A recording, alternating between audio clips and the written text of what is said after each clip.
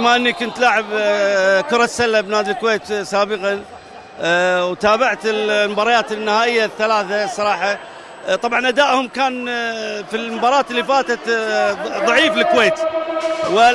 وبالبداية كان ضعيف لكن الآن بعد الشوطين بدايتهم كانت قوية وراح ينهونه وإن شاء الله الفوز للكويت والكاس للكويت. صراحة لعب الكويت وايد أحسن من القادسية بس أنا أشجع القادسية ودي ان القادسية يفوز بس يعني يعني اللي يصير يصير. والله ما أدري بس يعني صدق لعب الكويت يعني وايد أحسن متفاهمين أكثر من طبعا أول شيء أشكر الرئيس الفخري السيد مرزوق الغانم أبو علي ورئيس نادي الكويت إنه خذ أبو محمد خالد الغانم والمدير الذهبي لكرة السلة أبو ناصر بدر عصيمي ما شاء الله محترفين.